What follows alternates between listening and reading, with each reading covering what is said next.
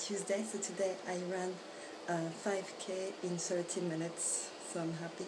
So that will be my last run of this week, and except for Saturday for my race.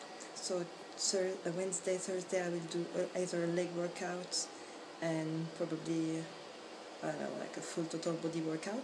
Then I will rest on Friday or Thursday and Friday, and uh, that's it.